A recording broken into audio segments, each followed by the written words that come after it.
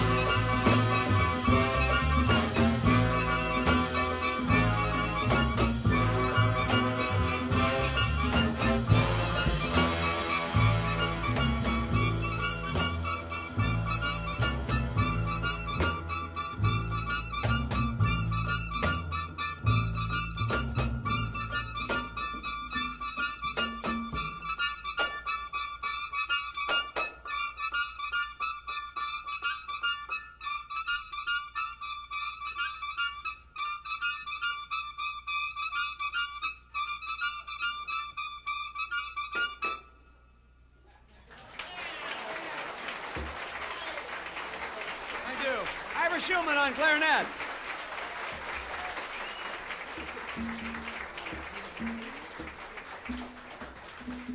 Oh, yes. See what I tell you. There's nothing like a little three and two thirds four to make everyone feel at home.